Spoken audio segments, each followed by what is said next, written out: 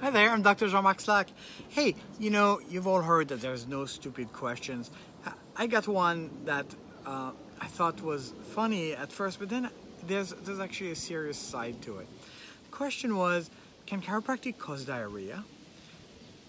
I thought it was funny, and then I realized that, well, maybe there is something to this, because what chiropractic does ultimately at the uh, at the innermost level is that it makes your body function as best as your body can function. Sometimes, when your body functions better after an adjustment, it can start to eliminate toxins that have been impeded its function for a long time. And that can end up with some symptoms that are sometimes unpleasant. Could be diarrhea, could be throwing up, it could be uh, your nose running like crazy, it could be coughing stuff up your body is now suddenly able to process toxins and eliminate them at a higher level, which in, after the unpleasant moment results in higher levels of function, health, and well being.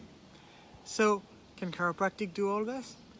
Well, it can enable your body to do it so you can have the best life possible. Feel better, function better, heal better. That's what it does. You're always better off without a subluxation impeding your nerve function than you would be with one. So, for your near perfect minute, I'm Dr. Jean Marc Slak, and I can't wait to see you.